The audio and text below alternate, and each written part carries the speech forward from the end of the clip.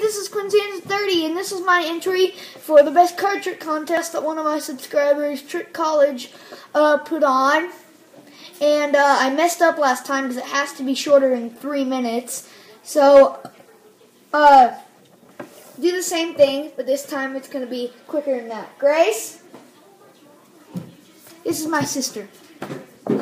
You have, so, I'm doing the best card trick contest. Uh, have you, you haven't been set up at all, right? You don't even know what we're doing. Okay, little trick I like to call aces on top. Now, cut the deck. Select one of the piles. This one we're gonna keep.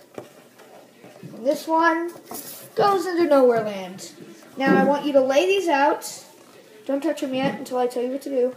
Into four piles. Just like that.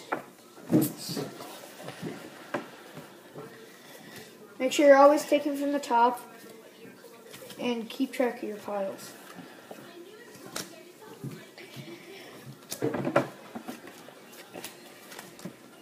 Okay, do you feel lucky today? Well, your luck is about to get somewhat better. Hey, there's an ace, the ace of diamonds, right on the top of that one pretty lucky. But then on the top of this one, the Ace of Hearts. Wow, your day is getting luckier. I mean, what are the odds be if I actually get another ace? Oh my god, the Ace of Spades. And, like, what if we get all four aces on top? That would be crazy, right? Oh my god, the Ace of Clubs. All four aces on top of each pile. And she did all the work cutting them, so I couldn't have done very much tricky. And she wasn't set up at all, weren't you? So, this has been a Quincy 30 Productions. I hope I win, and if I do, tell me, but don't send me any prizes, because my parents wouldn't let me leave my P.O. box. So, bye-bye.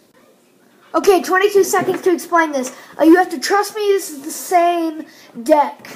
Um, but I swear I shuffled. I forgot to show. Just have to believe me. And as you can see, they're all different suits, all different numbers. I even have the jacks in there, except for all of the aces.